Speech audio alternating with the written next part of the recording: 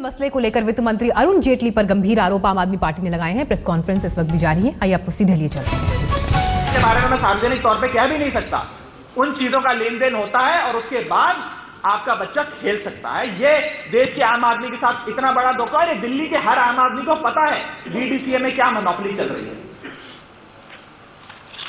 एक और तथ्य आपके समझ रखना चाहेंगे। इस सबकी कॉपी आपको दी जाएगी।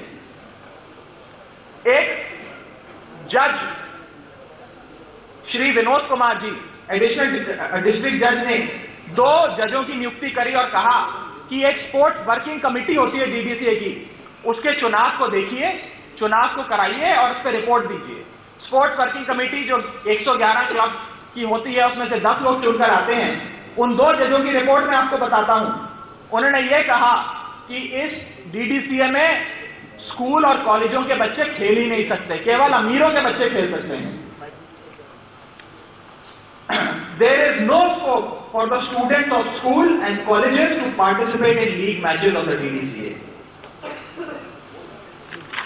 ये कहता है having regard to the fact that it has to fulfill hopes and aspirations of millions of people living in NCT or Delhi, it has to act responsibly. It cannot act arbitrarily, whimsically, and capriciously or with bias.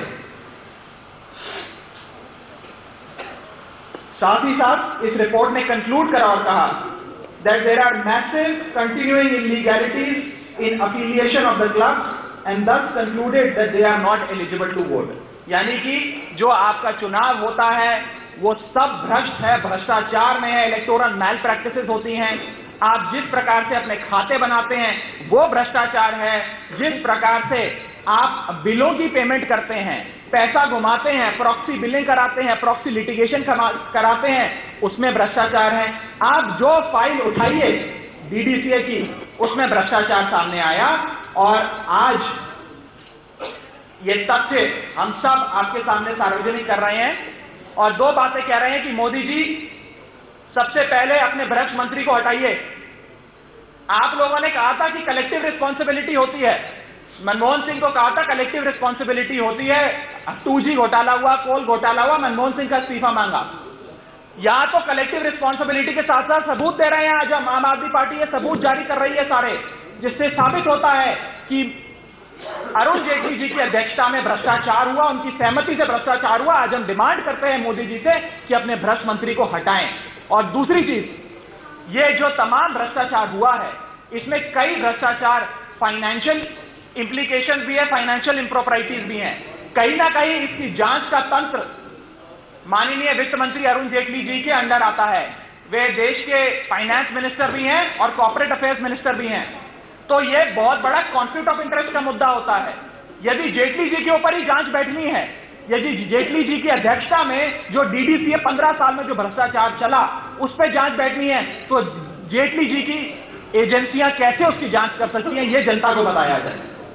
हम एक बात फिर दोहराते हैं कि जिस प्रकार से जो आज मैंने सारे फैक्ट्स आपके सामने रखे और आपको ये अभी ईमेल के माध्यम से भी दे दिए जाएँगे इन फाइल्स पर, इन सारे दस्तावेजों पर जब Arvind Kejriwal ji commission of inquiry बिठाने जा रहे थे, उस फ़ाइल को देखने के लिए सीबीआई उनके ऑफ़िस में रेड डालती है, जेटली जी के भ्रष्टाचार को बचाने के लिए उनके दफ्तर पर रेड डाली जाती है, और साथ ही साथ दिल्ली सरकार का एक अफसर, जिसकी अध्यक्षता में दिल्ली सरकार ने एक रिपोर्ट दी डीडीसीए के भ्रष्टाचार पर रिपोर्ट दी, उसने नवंबर में रिपोर्ट दी मोदी जी की सरकार, जेटली जी का पुलिस मंत्रालय, उसके खिलाफ दिसंबर के महीने में एफआईआर दर्ज कर देता है। देखिए किस प्रकार से ब्यूरोक्रेट की विक्टिमाइजेशन हो रही है। तो आज हम जेटली जी से सार्वजनिक तौर पर कहते हैं कि वे अपना इस्तीफा दें और इसकी निष्पक्ष जाँच हो तमाम भ्रष्टाचार की। एक थोड़ा लंबा हो गया क्योंकि एक अनप्रिपेयर्ड सीबीआई रेड नहीं है कि बाद में दो बोतल लेके बाहर नहीं है ये तथ्य के माध्यम से, बाकायदा एक एक चीज़ के माध्यम से और हम आशा करते हैं, हम उम्मीद करते हैं कि अगर वो ये समझते हैं यूपीए के शासनकाल में ऐसी बहुत सारी प्रेस कॉन्फ्रेंस मीडिया ने कवर की है। जब जब हमने वैलिड क्वेश्चन उठाए थे करप्शन के तब तक कांग्रेस की ओर से इस तरह की भाषा इस्तेमाल की जाती थी, जो विक्टिमाइजेशन करने की कोशिश की जाती थी। आज वही भाषा, वही विक्टिमाइजेशन डिटो ये वाली सरकार कोशिश कर रही है।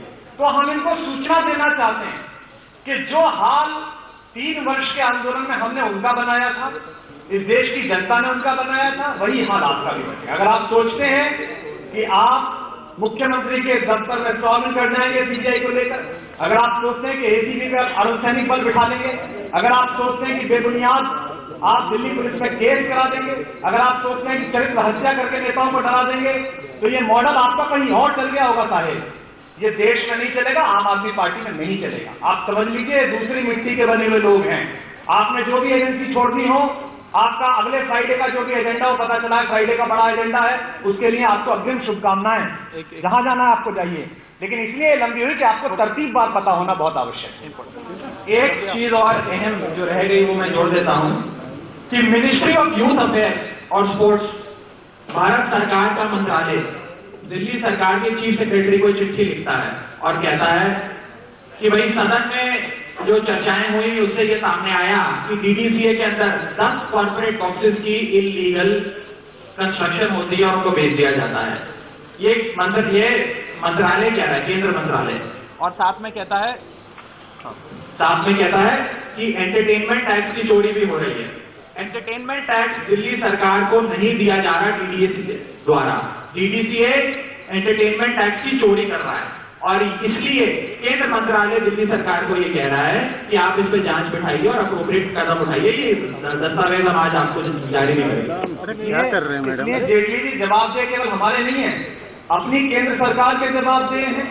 अपनी पार्टी के अखंड समर्थक श्री राम जेठ मलानी जी सवाल उठाते रहे उनके जवाब दे हैं। अपनी पार्टी के स्वतंत्रता सेनानी के पोते देश को विश्व कप में गौरव दिलवाने वाले अपने सांसद श्री कीर्ति आज़ाद के जवाब दे हैं। कल वित्त मंत्री जी ने कहा, मैं वेद सवालों का जवाब नहीं देता। आज ये तथ्यवार हम दे रहे हैं। अब ये ठीक ठाक है। अब इनका जवाब दे दीजिए। हम आमंत्रित करते हैं कि वो, उनके बहुत सारे पसंदीदा पोर्टल हैं मीडिया में। उन पसंदीदा पोर्टल्स पे बैठ जाएँ लाइव प्रसारण के लिए। हम वहाँ भी आने के लिए तैयार हैं। कहीं और बैठते हैं तो वहाँ बैठ जाएँ। हमारी ओर से हम में से कोई भी व्यक्ति एक आकर उनसे बातचीत कर लेगा। और देश के सामने वो इसको बता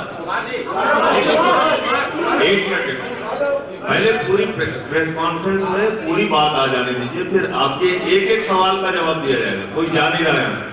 दीपक भाई अभी कुछ रह गए। राघव जी ने बहुत ही कॉम्प्रिहेंसिव प्रेस कॉन्फ्रेंस में लगभग सारे तथ्य उठाए, आपके सामने रखे। कुछ छोटी सी चीज़ें जो अहम आपके सामने मैं रखना चाहता हूँ वो ये कि 24 करोड़ रुपए से फिरोज शाह कोटला स्टेडियम का जो रिपेयर और रेनोवेशन वर्क शुरू हुआ था, जो आखिर में 114 करोड़ रुपए के पेमेंट लेने के बाद खत्म हुआ। आपने सुना होगा दिल्ली सरकार ढाई सौ करोड़ रुपए का पुल, डेढ़ सौ करोड़ रुपए में बचा के सौ करोड़ रुपए जनता के काम में लगा देती है। डीडीसीए कैसे काम करता है? चौबीस करोड़ रुपए का काम शुरू होता है, एक सौ चौदह करोड़ रुपए में खर्च होता है। जेटली जी जेटली जी। को एक पत्र कीर्ति आज़ाद लिखते हैं। कहते हैं, भैया, ये जो पैसे आप दे रहे हैं ना, ये ये पैसे आप इन लोगों को दे रहे हैं, ये कंपनियाँ कौन है? तो जेटली भी ये जो भी आपको राघव ने दिखाई लिखकर कहते हैं कि नहीं नहीं, ये पब्लिक सेक्टर कंपनी है। इसमें घपले की कोई गुंजाइश नहीं, किसी प्राइवेट आदमी को नहीं दिया जा रहा है। जब एफ़ आई जाँच करता है तो पता लगता है कि सत्तावन करोड़ रुपए ऐसी कंपनियों को दिए गए जो प्राइवेट कंपनियाँ थी। लेकिन ये प्राइवेट कंपनियाँ कौन सबसे बड़ा सवाल है कि भी प्राइवेट कंपनियों को भी व्यापार करने का अधिकार है तो ये प्राइवेट कंपनियाँ कौन है? ये प्राइवेट कंपनियाँ हैं and I reach it out to you कि the civil watch are actually just front of DDC office barrack ये जो कंपनियाँ जो सिविल वॉच दिए गए हैं, ये डीडीसी ऑफ़िस बैरक के फ्रंट है. And the amount spend from stadium has been inflated for these reason that is to benefit DDC office bearers by round this is a serious allegation तो ये जो पैसा सत्तावन करोड़ रुपए है, ये जिन कंपनियों को दिया गया, ये राउंड ट्रिप होकर डीडीसीए के ऑफ़िस बेरर की वापिस जेल में पहुँच गया। और मैं ये भी तथ्य डाल दूँ, हालाँकि इसमें नाम नहीं लिखा हुआ है, लेकिन ऑफ़िस बेरर में सबसे बड़े ऑफ़िस बेरर कौन थे? अरुण जेटली। नंबर एक नंबर दो। दिल्ली के प्रधान सचिव के खिलाफ सीबीआई की रेड की, जिसमें अब से कुछ देर पहले राजेंद्र कुमार सीबीआई के दफ्तर पहुँच गए। लेकिन इस बीच सीबीआई की रेड पर केजरीवाल ने आरोप लगाए हैं कि उनकी दफ्तर की फाइलें भी सीबीआई ले गई है और इसमें ग्यारह the winters are upon us time to take out your sweater jacket and in my case cap fact my colleague Rohit has already started knitting now Sony smartphones I really like them you know because they have their own design